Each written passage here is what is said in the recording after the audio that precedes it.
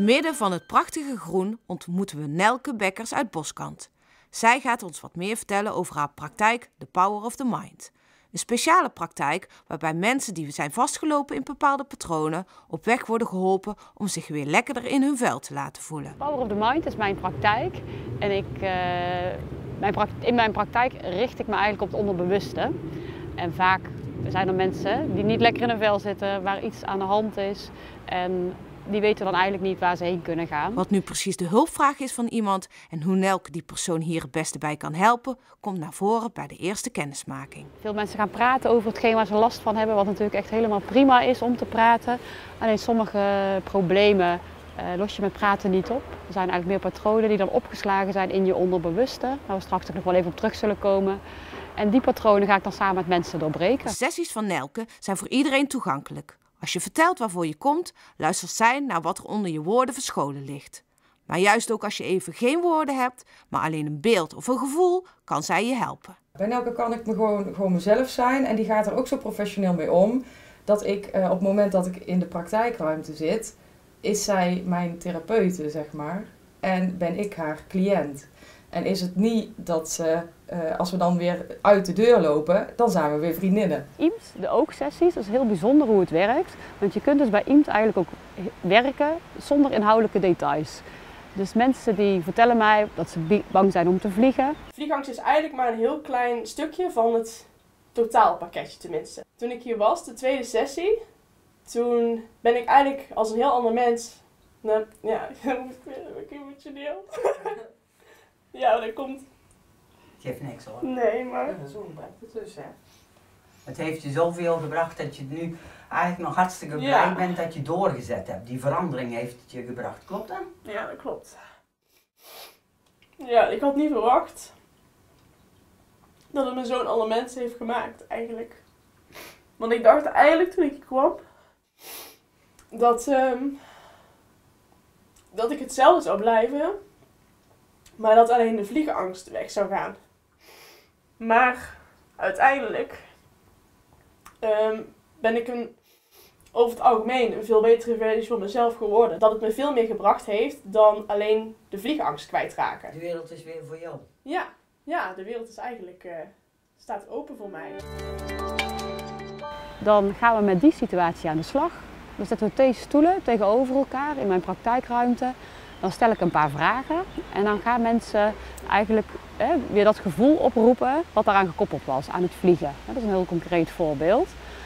Als ik die vragen gesteld heb, waar mensen dan kort antwoord op geven, dan aansluitend gaan ze met hun ogen mijn vingers volgen.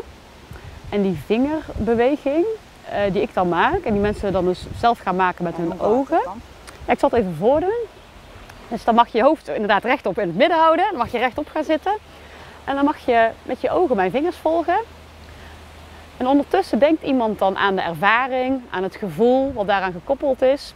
En dan volgt iemand zo met zijn ogen mijn vingers. En door dus meerdere dingen tegelijk te doen, door enerzijds aan het beeld te denken, mijn vingers te volgen, naar mijn stem te luisteren, de ogen te bewegen, dan kun je dus een patroon doorbreken in je onderbewuste. Het, is bijna, het klinkt bijna te mooi om waar te zijn. Het voelt voor veel mensen ook als heel erg magisch omdat ze dan dus dat gevoel waar ze mee beginnen niet meer kunnen voelen. Soms dan is het gevoel in één keer weg. Soms dan komen mensen van het ene gevoel bij een ander gevoel. En dat is een teken dat de verwerking is begonnen. En dat ze dan de gevoelens die aan die gebeurtenis gekoppeld zijn, uh, los kunnen laten.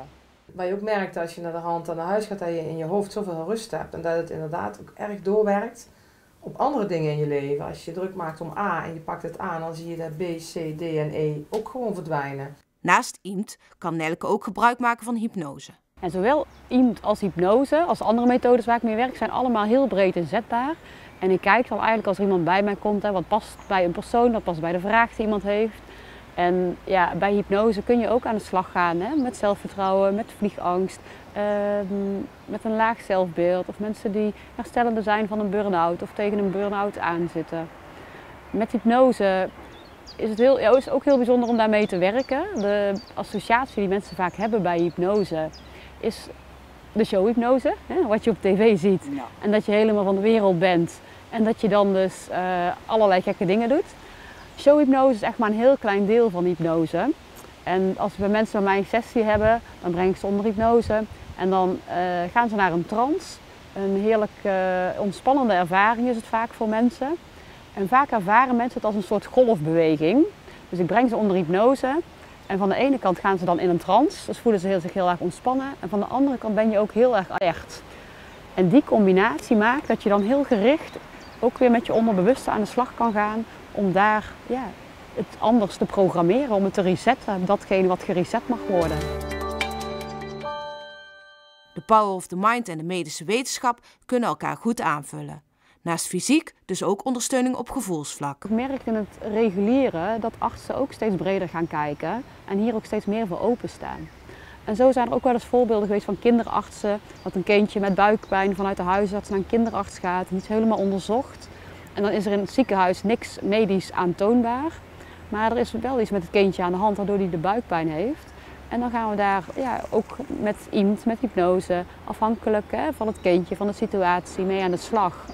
En dan uh, ja, gebeuren daar mooie dingen. Ja. En zeker met kinderen. Kinderen kunnen soms niet aangeven wat er precies aan de hand is. Dus... Nee, van de ene kant uh, kunnen ze het soms niet aangeven. En van de, af, van de andere kant mag het bij mij ook heel abstract zijn. Ik had een keer een, uh, een kind en wat zei van... Goh, ik kan zo boos worden. Het lijkt wel dat er een knoop in mijn hart zit. En dat is dan ook een gevoel waar ik mee ga werken. En dan hoeft hij mij niet meer uit te leggen, dan werken we daarmee. Dan weet jij ook wat je moet doen. Ja. Je kunt ermee aan de slag. Ja, dus je kunt met de beeldspraak, dat wil ik eigenlijk zeggen, die kinderen ooit gebruiken, dus ook juist heel mooi aan de slag gaan. Zonder dat ze het op een ja, volwassen manier uit hoeven te leggen. En zo was er een keer een uh, kindje bij me die dus voor de eerste keer ging vliegen. En die was als de doods om te moeten gaan vliegen, als enige in het gezin. En we zijn samen aan de slag gegaan. Ja, en vervolgens uh, kwam moeder dan ja, aan het eind van de sessie weer terug. En hij zei, mam, ik heb keihard zin om te gaan vliegen. ja, en dat is super mooi om te zien. Als ik naar mensen luister, dan luister ik op een andere manier. En ga ik eigenlijk al meer sporen naar ja, die patronen die daaronder liggen. In plaats van naar het inhoudelijke. En wat we vaak doen, is luisteren naar het inhoudelijke. En bedenken dat we het inhoudelijke op moeten lossen.